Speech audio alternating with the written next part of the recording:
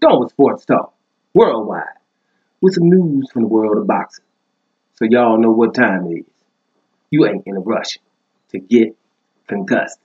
Now check it out. We had to fight with the blackballed boxer. You know my boy Taz, I like to call him Guillermo Rigondeaux. 38-year-old dude won the fight, beat Ceja over the weekend. And, uh, you know, uh, it was a little controversy at the end because he hit old boy with a left hook in round eight.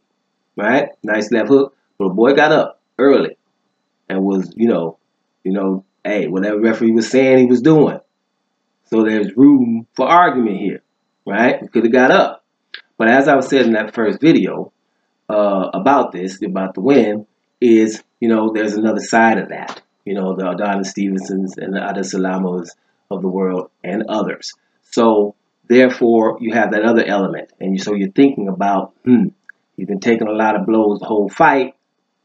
We might not want to put him back back in this with Guillermo right now when he's groggy, right? So that's the argument with that. And um, so the WBC president, he says he's going to consider their protests. The fight's going to be protested now. Ceja aside, why not? To protest it, uh, but the WBC will at least acknowledge it and consider it. But he himself even said that's exactly what I'm saying. He's like, we are trying to avoid, you know, tragedies. You know what I mean? We're, we're trying to avoid tragedies man. So those that's the other argument. Now I know you know these outrage. You know my point about this is of course people you know Guillermo Rigondeaux, 38 years old. You know been blackballed basically. Anybody do their research just a little bit, right? Find out, man. Shoot, what you know we want him to win. You know what I mean? You know, shoot, you shouldn't have been in there in the first place. Whatever. You got knocked down. You got up on time. We can move on.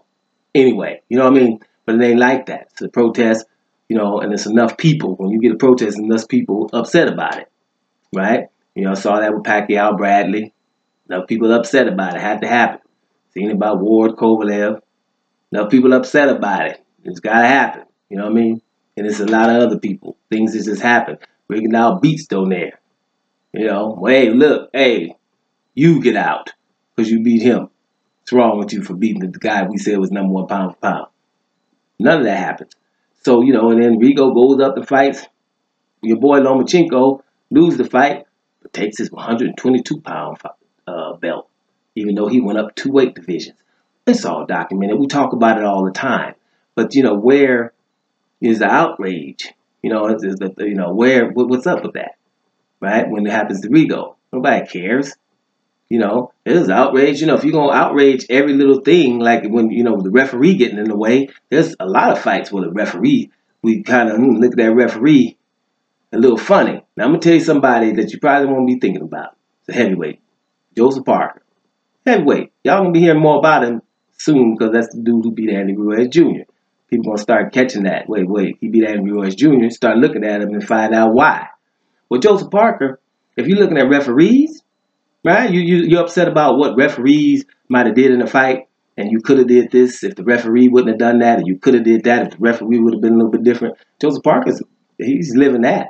He's fighting Anthony Joshua. The referee couldn't even speak English. I say it all the time, but he couldn't speak English. Couldn't say nothing but break. Who gets a referee in England with two English-speaking fighters that can't speak English? Why do you do that? The man can say break and can't say nothing to the guys. Now, I know I say this often for y'all that be here every now and then, right? But I'm just saying, isn't that just outlandish?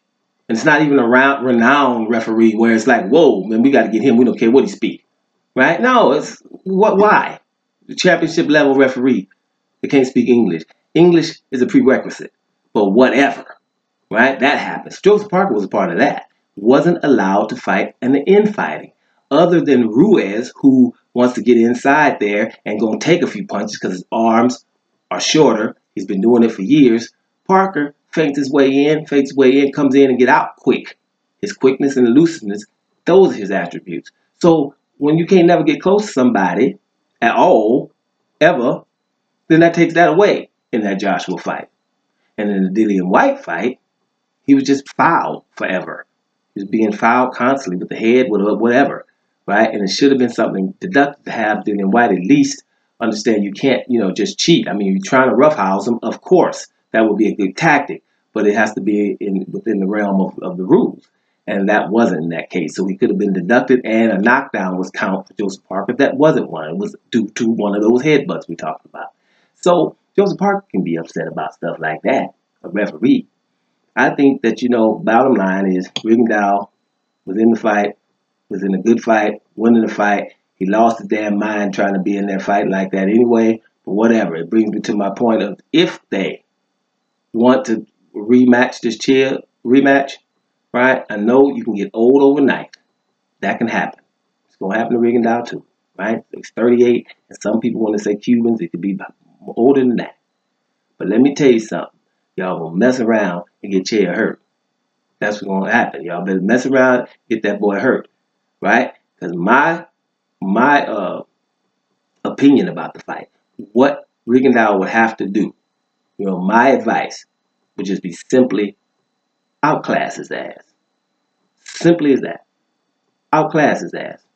Right? Nothing against Ceja. If Ceja comes in here and Rigondeaux fights how he can and stop worrying about what these people who don't care about him anyway think and just continue to win, right?